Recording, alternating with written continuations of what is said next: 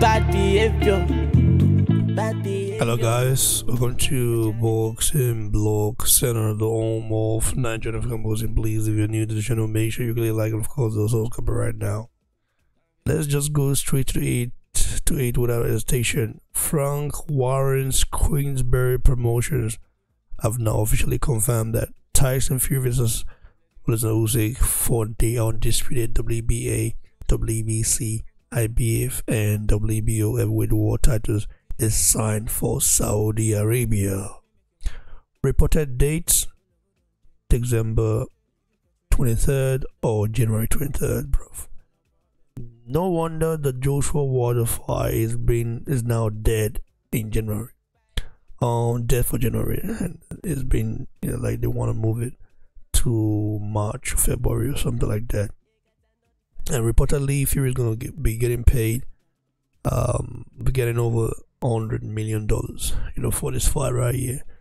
Now, this is the guy right here, the new head of sports, um, in Saudi Arabia. His name is Turki. The guy has over 13 million followers on uh, Instagram, over 6 million plus on uh, Twitter.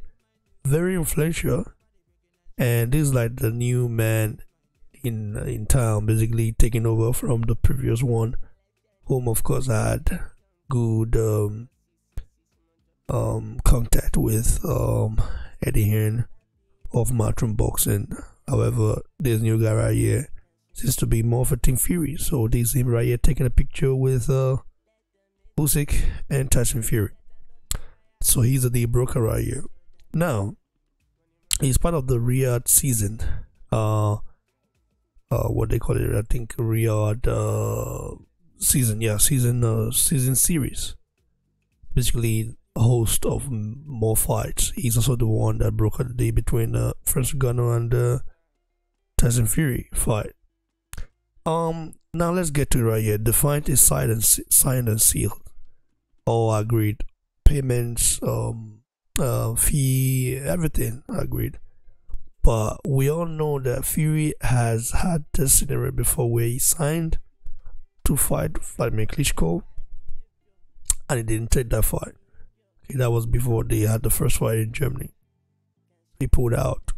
Okay. In the rematch, he pulled out this guy is known for pulling out in fights. He know that there's danger in it, in regards to him losing, and takes it after I don't know after doing something, something's too advanced. You know his chances of winning. Now, is this disrespectful to Francis Ngannou because they literally just like this is something you do basically after the fight, right? You like you you do after like that fight, even though some boxing fans might say, "Oh, that's not a real fight. Francis Ngannou is not a boxer stuff," but he has a chance to to to to, knock Fury out. He's he got the power. It's just that he's not a boxer and he might not be able to catch Fury. But if he does, what if he does? There's a little chance in every division. Can't count anybody out. What do you guys make of this right here? Let's go around here at the wallet to give his stake. Yes, sir. Um, Ngannou doesn't have a chance, bro. I promise you that. Ngannou is not going to touch Tyson. Tyson is going to dance around that guy for like six rounds, seven rounds. And by that time, I expect Ngannou to be tired and Fury will try to stop him. He will try. He might not be successful, he will try. But I see Tyson Fury winning that fight either ways. He, Ngannou, that's his first pro fight in boxing. There is no way someone in his debut can defeat a defending champion, especially a good defending champion. And I'm not a Tyson Fury fan. I do not like Tyson. I have too many negative things to say about the guy. He's a drug cheat. He's a he's a um, glove cheat. He he associates himself with some unscrupulous elements. I do not like Tyson for nothing. He's not good for for the heavyweight division. He's entertaining, but at the later part of his career that we're experiencing right now, he's not good for the heavyweight division. So the right thing that should have been done was to have stripped Tyson after refusing to fight for so long. But the WBC is helping him keep the belt. So it is what it is. I am not excited about the fight against Usyk, Alexander Usyk. And I know some people might feel like, yeah, this guy is just a hater. Yes, I'm a hater. I am a hater as far as Fury versus Usyk is concerned. Daniel Dubois should have those three belts. He's not a better fighter than Usyk, but he won that fight. And Usyk robbed him. Or rather, the referee robbed him because the referee probably is a far left guy that is in support of the war going on in Ukraine. You know what was going on? They included politics to boxing to sports. It's annoying. Okay.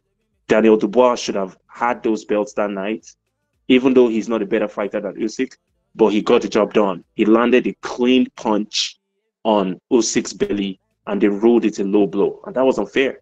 So yeah, I'm not excited about Fury Usyk fight. I hope Ngannou upsets this card they both don't deserve to be fighting for undisputed in the heavyweight division. And that's my take. I have to say the boss for this fight is not really much. If this was to be announced, if this was to be Joshua Wilder, like it would be trending, but it's not trending. It's weird. But I don't think people believe this fight is gonna happen for real. Tajagbe, uh, bro, let me make this last point. Oh yeah, you know what yeah. fight is also happening? It's the Saudis because the Saudis are trying to sports wash their country. So they are using sports, they are investing billions in, in golf, in in car race, boxing, soccer, so many sports. That's what the Saudis are doing. If the Saudis were not putting the money down for this fight, we're not going to get the fight because three is too greedy and too afraid of the little guy, Usyk for some reason. I don't know why I the guy is. I wouldn't say sport wash anything because I think the Saudis citizens they love uh, sports. The South, listen, the Saudi citizens are like football is the biggest sport in Saudi Arabia, and it's been like that for a long time. And the, the new generation love sports. Remember when they beat Argentina in the, in the, at the recently held World Cup in Qatar? Bro, these guys are passionate for, for, for sports. But I don't know about boxing or stuff like that. But I do know that when it comes to wrestling, you know, football, football number one sport there, and they're very passionate about it. And it's not a bad thing to promote your image because listen, there's even the European sport. They literally they whitewashed a lot of things to us. Like imagine me growing up in Nigeria thinking Europe is heaven. I remember then because of the the pictures and TV we were shown, and I was to- I always thought that the money money money is in the tree. Basically, your money is everywhere until you get there. You say that shit. Oh damn, bro! You have to work hard like crazy, like pay many bills. Or taxes are crazy. You have so many insurances you have to pay. Like it's all like it's not as it seems. So basically the Saudis are no different from the Europeans. It's just facts. This is what I've been doing for. I mean, we accept it now because it's like because I don't know. We basically accept anything European, I guess. As Africans, let's keep it right here, bro. Is what Europeans has done to Africa for the past 400 years. I mean, we shouldn't even accept any, a lot of things we accept, but we still accept it because, you know, because of their demographic. But let it be the Saudi, you know, who privileged if the Saudi did what Europeans did, did uh, do. Uh, I mean, the BBC, CNN, BBC, everybody was talking about it. They would like literally be on them, on their neck, like for a long time. That's why I said Saudis are they have the money. They are promoting their country, their culture to the world. They are not a perfect country. It's an Islamic country, definitely. If you're not a Muslim, and if you have some certain view about Muslim, you might not like it. But I don't really have any view about Muslim. I think there are bad Muslims, there are good Muslims, just there are Christ, good Christian and, and, and, bad Christian. The other day I was working and one of uh, one um, a little kid uh, stole stole one of my order. it was Moroccan, so well, that's a Muslim, grow, born, grow, grow, born and grew up here. So, you see what I'm saying? So, just because someone is like Muslim doesn't mean they're holy. Everybody have their own bad eggs. So, I know you're sticking to the narrative of the Europeans, say white uh, uh, sport wash. listen, the Premier League that Nigerians are crazy about. In the eighties, it was a boring. It was boring. There was no money or anything like that. I think it was in in, in, in the nineties that they re, they rebranded it, became the Premier League. It used to be called the First Division, I guess. Became the Premier League, and then they bought all the best players in Europe and all over the world. Just look at, for example, look at, for example, how many players have been taken from Africa, from South America, without without all of those con- those uh, continent, bro. It wouldn't be as good like this. Like if you look in the history, South Americans used to dominate world football. Their clubs. Pele never played never played in Europe. Never played for any club in Europe, but he won three World Cups, and is and for me, he's the greatest of all time, bro. But it's one of those things we are diverting, you know, the topic. But I get you. If you want to speak on it a little bit, then yeah, continue. But yeah, yeah, yeah. You know, um, the thing about Saudi is um, they don't make revenue from these sport events. But they're not doing it to make. They're not doing it to make revenue, bro. They are doing it to entertain their people. And that's exactly why it's sport washing. I think That's what you what you what you're saying is capital. Listen, Saudi Arabia is not a capitalist country. You know that. It's a monarchy, total monarchy. So And that's why people don't want to go there. That's why people around the world hardly travel to Saudi Arabia. It's only Muslims that want to go to just say no Muslims, no Muslims because there's already a view. There's already a view like it's just like the tarnished image of Africa, like by Western media. They see Africa as a, um, you know, like they think we all live in huts and jungles. This is what they do. This is what they did to the Islam or you know the religion. This is what they do to non-European. The same thing they do to China or Asia. Bro. You have to understand the game right here. I think you know better to understand it. But anyways, um, yeah, continue. Then let our brother, uh, Yeah. uh, tell them we Don't let me take too much time so Ty can jump in. I just feel like Saudi Arabia, for me personally, nobody nobody portrayed anything negative about Saudi for me to know how I feel about Saudi. I know what Saudi is like. I know what it's like. I have family members that have been there before. Um, I'm from a Muslim family, so I understand. And the reason why people hardly go to Saudi is because of their cultural situation. But these days, they are trying to open it up with sports, and that's why they can afford to pay Tyson Fury hundred million dollars. If no, if Saudi Arabia was not going to pay Tyson hundred million dollars, there is no other source in this world where Tyson would have gotten that kind of payment from. So he can enjoy what he has now, but I hope Francis Ngannou beat him. Thanks, but I appreciate you taking this. Tajagbe. What's up, bro? What do you make of this fire right here? And what do you make of Adewale's statement?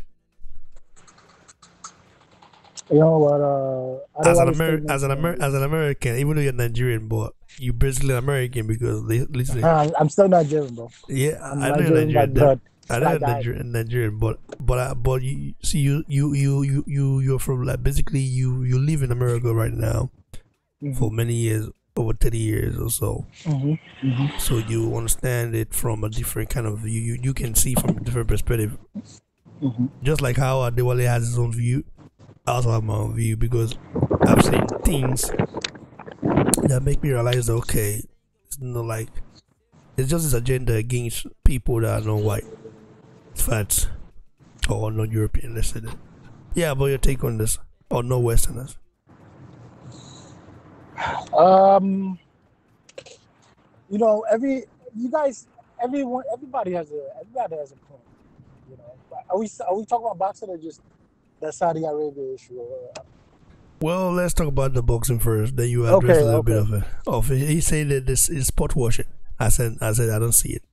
Okay, okay. So with uh with with Tyson Fury being able to get this deal and Francis Ngannou in there, I, I'm ex- listen.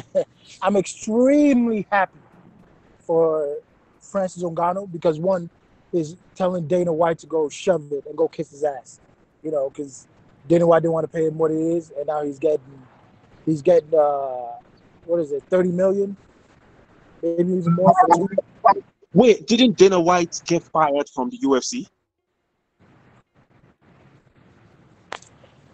Uh, no, I don't think so. I don't. I don't. If it if it was, it would have been trending. I would have picked up on it. But uh, I, I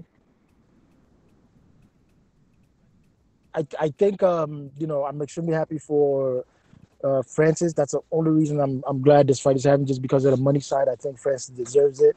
You know, he deserves to make money, and Dana White being a big conglomerate like himself and not being able to give fighters what they're asking for is an pure it's an embarrassment. But other than that, I just don't see this. Listen, if if that fight was not going to be easy or if it was going to be challenging, Tyson Fury wouldn't have taken the Usyk fight, you know, because now he's really seriously underestimating Usyk on who he is. And for me, I think, you know, he knows that fight is going to be easy, and let's fuck it, let's schedule it for December. But I also think I also don't believe Tyson Fury is probably going to even to make that fight. I believe he's probably going to pull out maybe towards, you know, January and say he's not ready or there's an injury in camp and give everybody false hope, you know. But that's just the way it is. I, I just believe there's room for error and there's room for uh, Tyson Fury to decide I don't want to fight, I want to pull out, and it's gonna be it is what it is. I'm, am I am I hoping uh, Ngannou shows everybody proves me wrong, proves everybody wrong that he's really gonna go in there and really bust Tyson's head open? and shows that oh man, you know, I can I can fight, just not in the UFC. I really want that to happen, but it's usually not the way it is. You know, uh, I, I I I I just don't see it going any other way. I don't see it, man. You know, boxing is a much much more fast paced sport. You know, they're they're moving. You know, they're looking they're looking to land. You know, mentally draining. Not like uh, not like um, UFC. You know, they're they're more slow paced and you know they're just not they're they're on top of each other one minute. You know, it's it's more of a slower pace, and the the, the boxing has longer uh, longer. The minutes are longer than the UFC, and the rounds are longer. So I do believe, uh, as much as what I've been seeing so far, I'm not too happy on it. You know, with with uh with Ngannou, but it is what it is. Maybe it's just it's just for for laughs on the media side, but I I, I me personally, I don't want to see it. I don't like it, you know. But Tyson Fury, you know, he's got he's he's holding he's he's the one that's holding up the division. We want to see undisputed, so be it. Let's let's let's get the fight going, and it is what it is, you know. But unfortunately, I do believe um, the fight Tyson Fury is going to entertain that fight up until like maybe the fifth and sixth round, and that's it. You know, uh, so that's it, man. But um, with the so with the whole situation with Saudi Arabia, I believe Saudi Arabia has been um, they, they I do believe they love sport, but the only sports I've known them to like is of of, of uh, soccer, which is number one. I they, they started getting into wrestling, but I really never knew much about that. But I know they they they also they also like the NASCAR races too. You know, I know they love those races. You know, I wouldn't be surprised if they decide if they host something like that over there. They have everything to, they have every bit of it to do something like that over there. But um, I think um, I, I do believe uh, they, them hosting those fights is it's it's a way of uh, of of of trying to change their image, you know, of who of who they are, you know. But you just don't know what they're trying to do. All of a sudden, they're they're getting into boxing. Boxing is such a big sport. You know, you can make a lot of money. These guys can make a lot of money. You know, especially when it comes to uh, the whoever's hosting that fight. When it comes to the site fees and, and venue fees, and man, you got you have to have money to be able to to be able to pull that off. You know, these site fees are no joke.